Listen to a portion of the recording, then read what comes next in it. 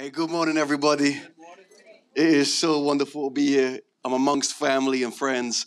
I know I don't know all of you, but I know some of you. And every time Kara and I come here, and this time it's Kara, I, and Eden, because we had a lockdown baby, so that's fun.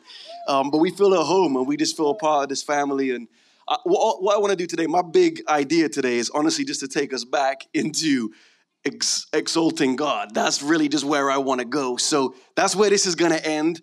And along the way, I want to dive into the story that you're in and the vision that's been set this year around this idea of Selah.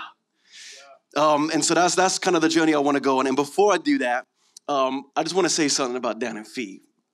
Because he said something about me. I'm going to say something that he wouldn't say of himself. And then I'm going to apologize already for the story that I'm about to tell. I have never told this story anywhere, but I'm going to do it today. During the time Dan and Fee were in Bath, um, Kara and I, a few times, found ourselves without anywhere to live. And Dan each time would say, Why don't you guys just come live with us for a few months?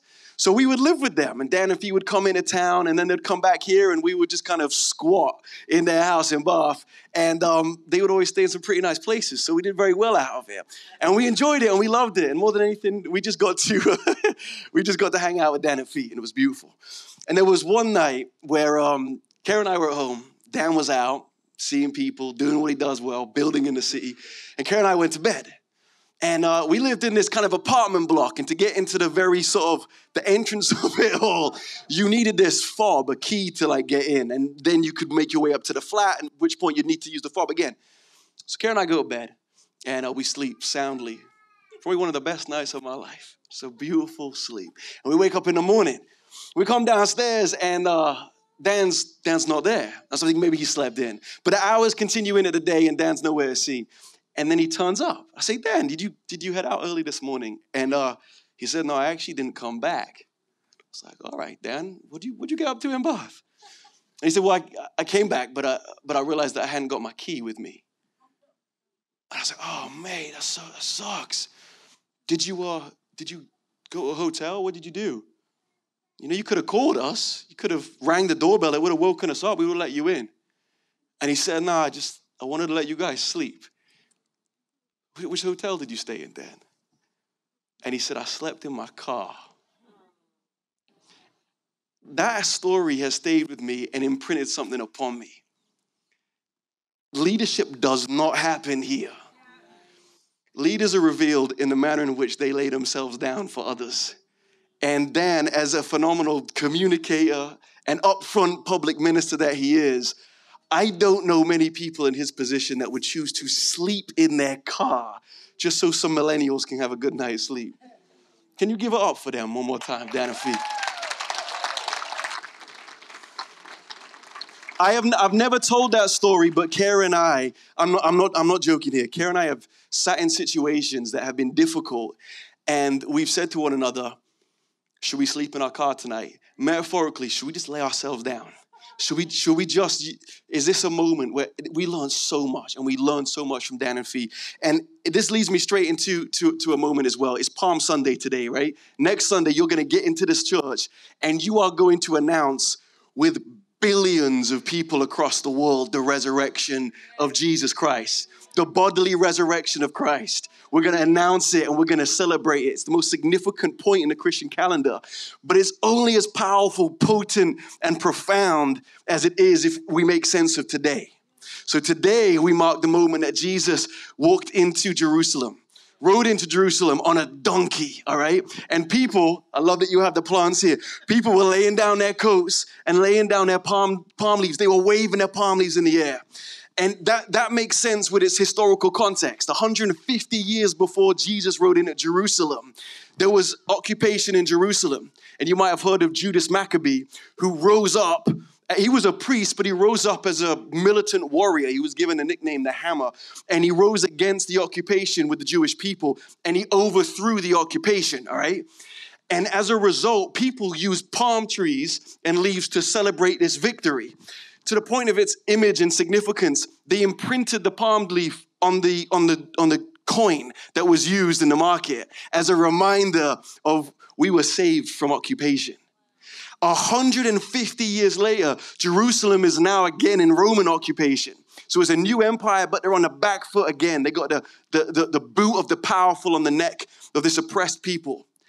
And they hear these stories about this man, Jesus the Messiah. And they have Daniel and they have Isaiah and they have all the Old Testament prophecies announcing who the Messiah would be and how he would free them from their oppression. And so Jesus, the king, is riding into Jerusalem and the people are saying, This is it. Hosanna doesn't mean praise you. Hosanna is used only, the Hebrew word Hosanna is only used one other time in the Old Testament. And it's in the Psalms, and it means this save us. So as Jesus is riding in, they're raising the banner, the icon of military defeat in the air, uh, military victory in the air, saying, Save us, do it again. And Jesus is weeping as he rides into Jerusalem on a donkey. Why did he choose a donkey? Because the Old Testament image of kings and valiant warriors was a stallion, a white horse. And he chose a donkey because he was saying, I have come to overthrow the empire but it's the empire that rests inside the heart of man. I have come to overthrow, I have come to turn the tables, I have come to bring victory. But victory will be done on the mountain of Golgotha. I will free you, not from the Romans, I will free you from sin, death, and Hades. And this victory will last forever. It won't be some historical military conquest. It will be a moment that changes everything for everyone, anywhere, for all of time. And next Sunday, we'll announce it. And we'll wave our palm trees in the air and we'll declare that he did overthrow the empire. And the kingdom is here and the kingdom is coming. And a day will come where the whole world and every tribe and tongue will announce it and Jesus will have his full glory. So we have a week now. This is Passion Week. We have a week to join Christians all around the world to prepare ourselves for Resurrection Sunday, to create space, to remove from our hearts the callous religion that rejected Jesus right?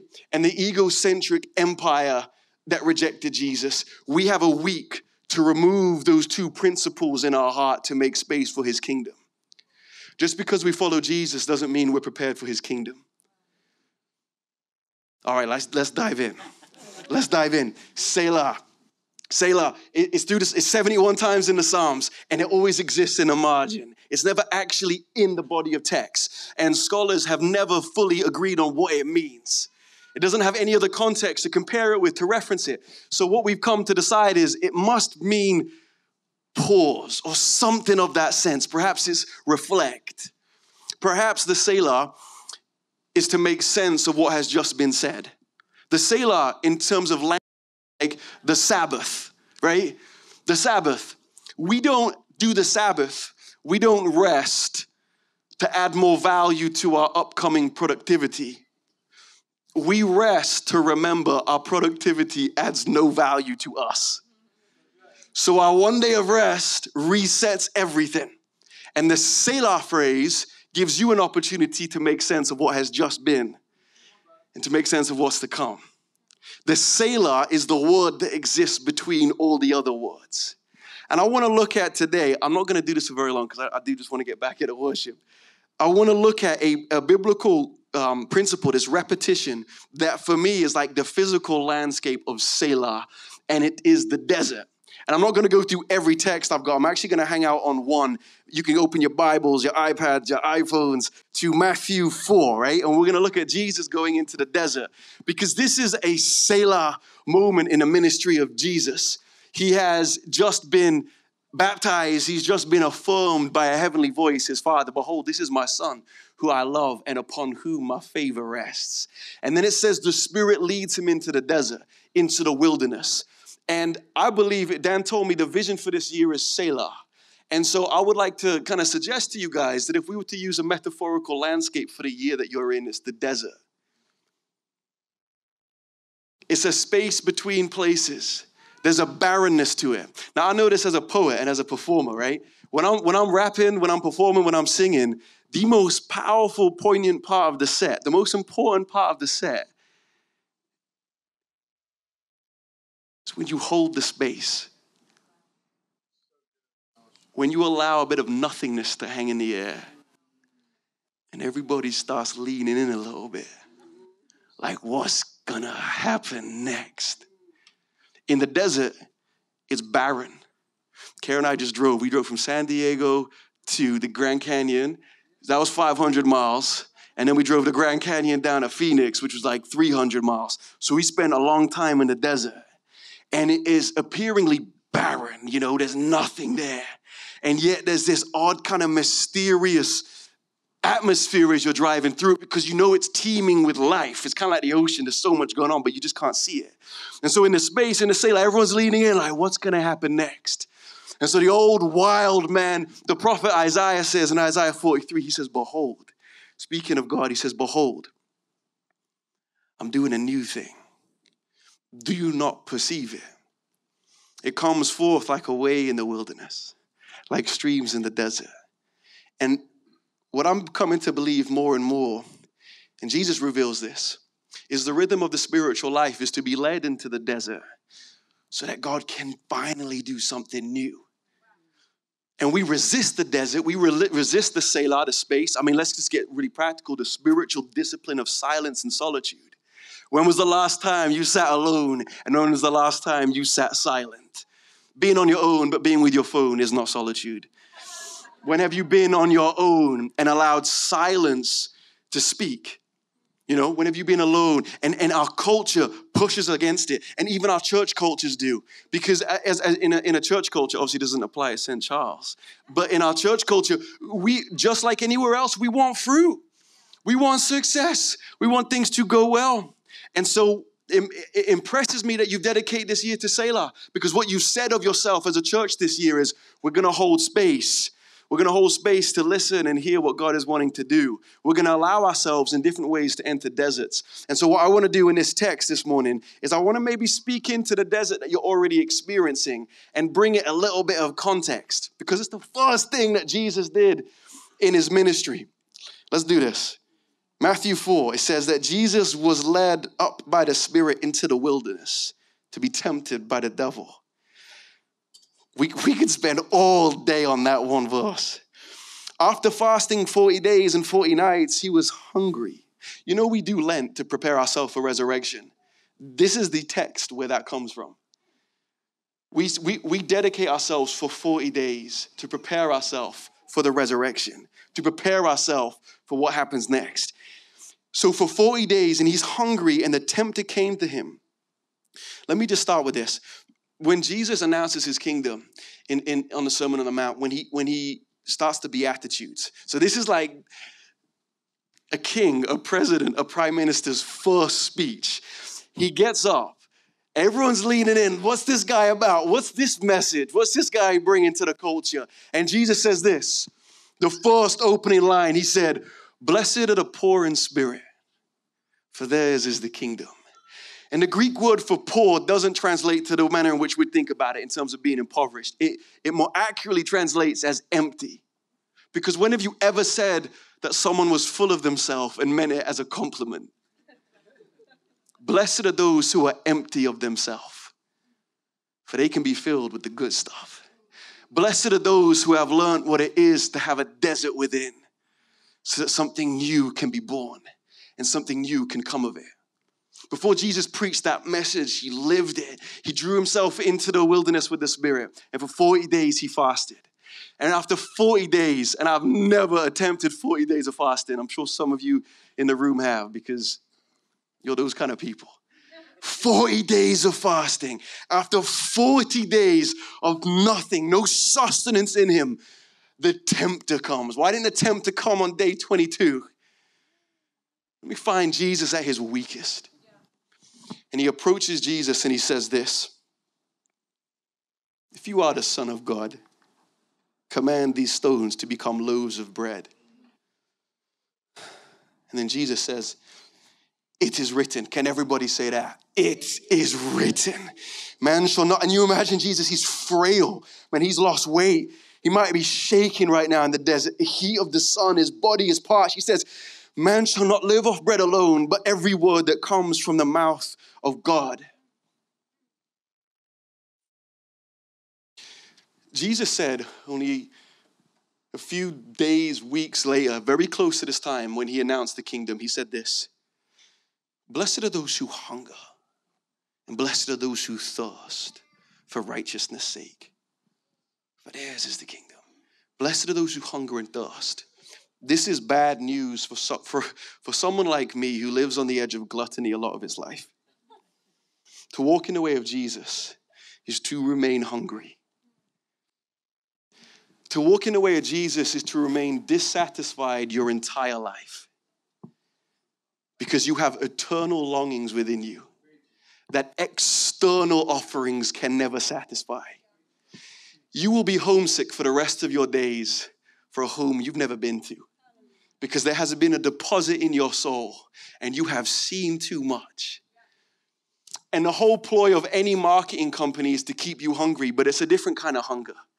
The hunger in marketing is to keep you hungry and dissatisfied with own, your own life in comparison, in comparison to what someone else has.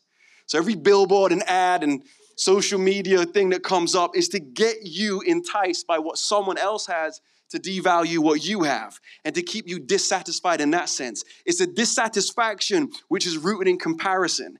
And Jesus' hunger is rooted in conviction. He says, I have understood now that to be hungry is to be spiritually satisfied. Because it keeps me from complacency, it keeps me from pseudo comfort. He says in John 10, he says, I've come to give you life and life in abundance.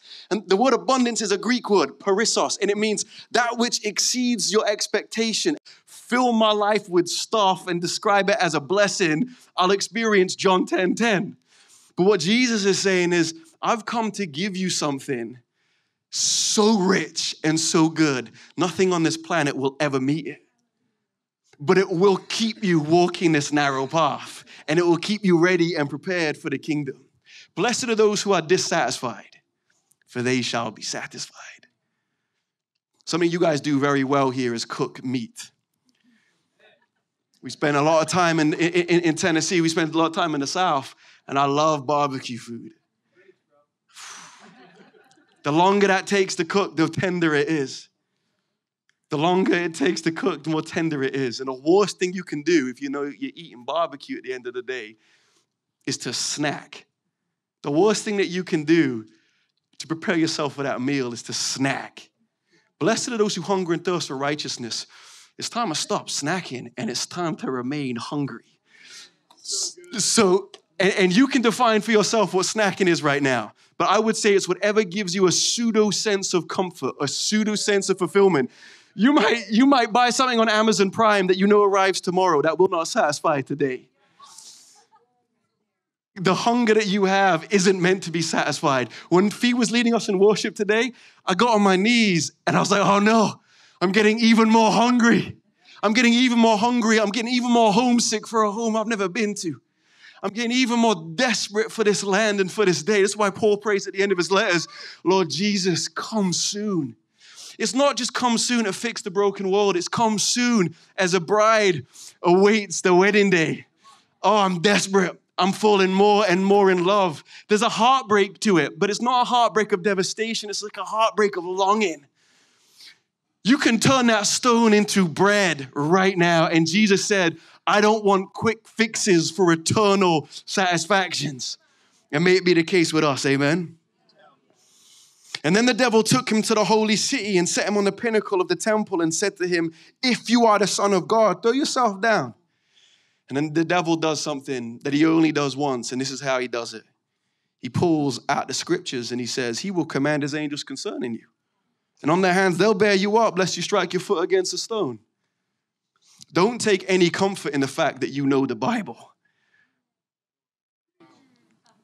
Take comfort in the fact that you know the Word, that you know the God who is born out of our understanding of Scripture, our devotion to it, that, that this becomes flesh and living personhood of, Christ the more we get into it. Just knowing the verses, isn't, isn't it?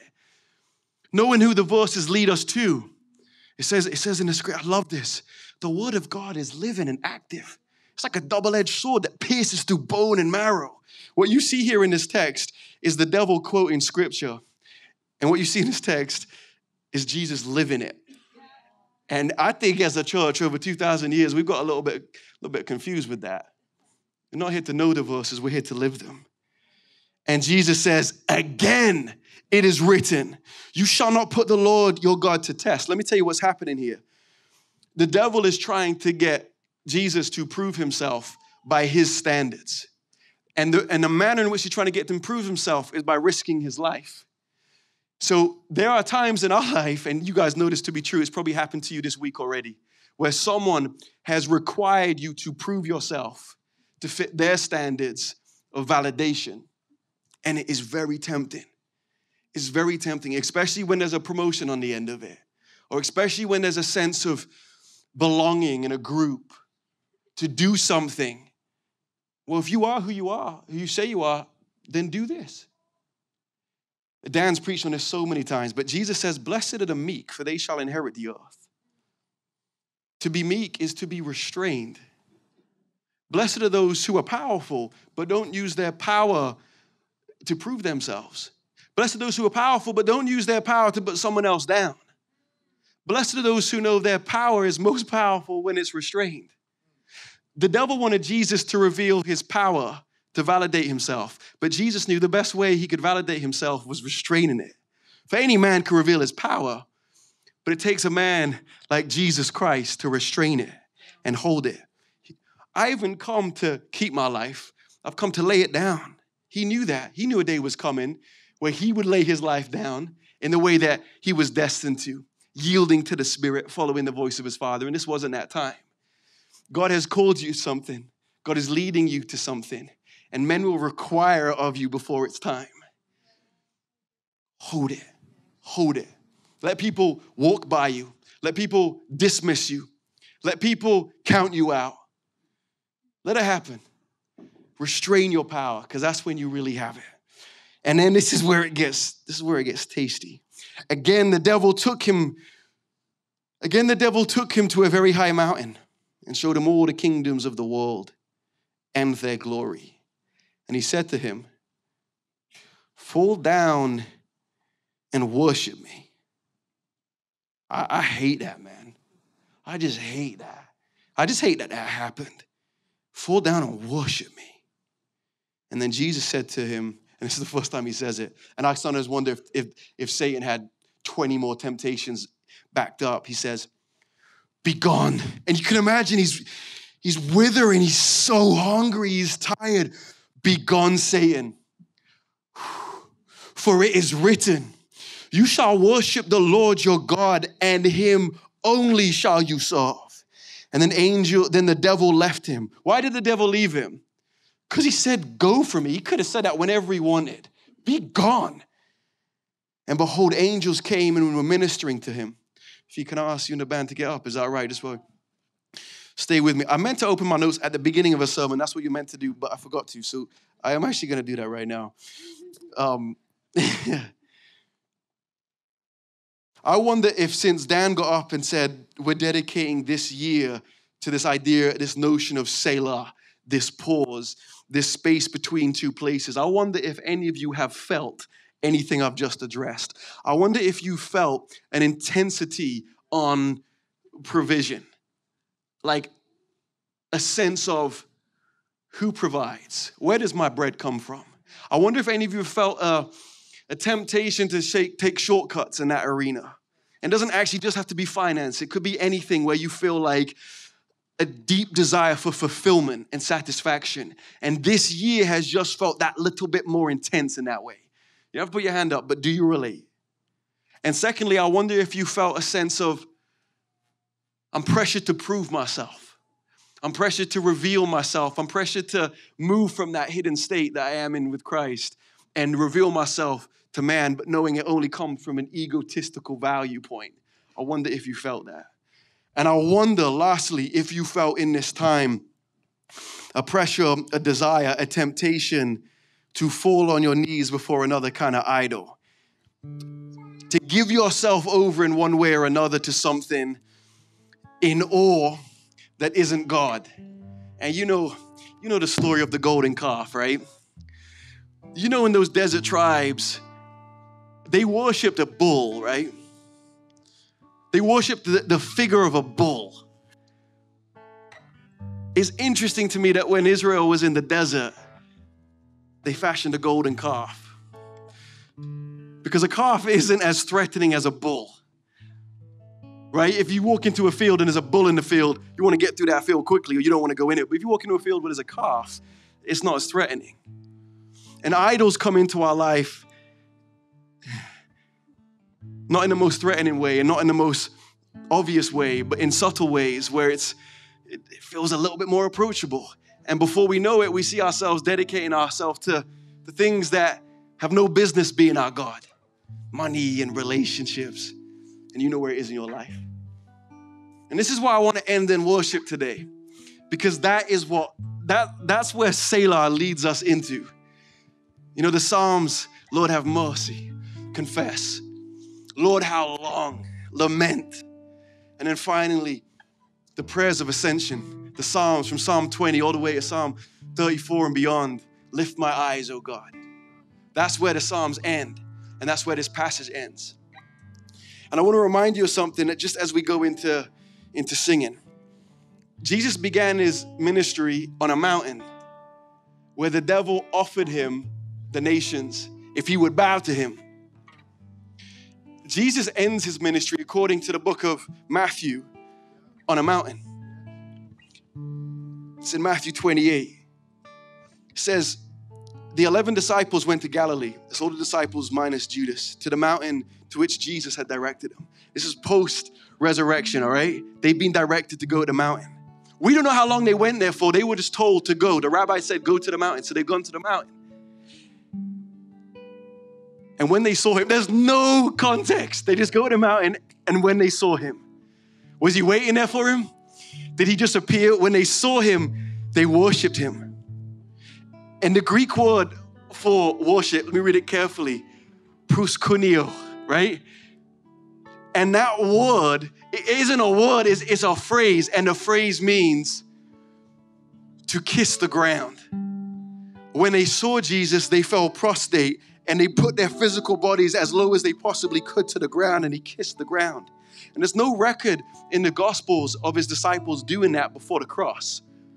They never got on their knees and just worshiped him before that point.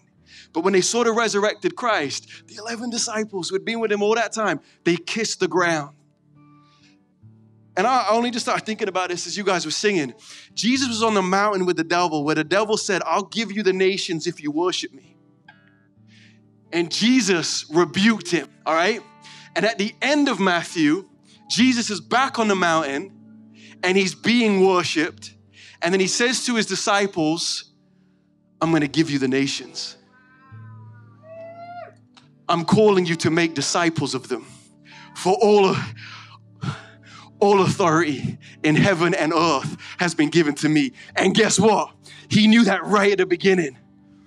I'm going to come back to the mountain, Satan, and I'm going to bring the same authority there as I have right now. And the nations that you think you can offer me, I'm going to give to those who follow me. And when I commission them, I'm not going to say, go to the nations and prize them out of the hands of the devil because they belong to me. I'm going to say, go to the nations and remind him that they've always belonged to me. Psalm 124 says, the whole earth is the Lord's and everything in it. Jesus knew that the whole time. So imagine that. He stood there before Satan as Satan is saying, I'll give you this. And Jesus said, I'm not going to take from you what is already mine. Don't allow the devil to tempt you as if you are entitled to something that God wants to give you through your inheritance. Don't be the older son who said, If only you had given me a goat. The, the, last thing, the, the 12th verse of Luke 15, it says, The father divided his property between both sons. So before the younger son squandered his property, he had already given half of his property to the older son. So despite the gold he had been given, the older son only saw the goat that he didn't have. Entitlement will rob you of your inheritance. And Jesus was standing there as the Son of God, saying, My inheritance is the nations. And now we stand before him er, as his followers. Sorry, we fall before him er, as his followers and we worship him. And as we lift our eyes to him, he says, Now go and make disciples of all nations, for all authority in heaven and earth belongs to me. Can we worship him this morning? Let's stand and sing.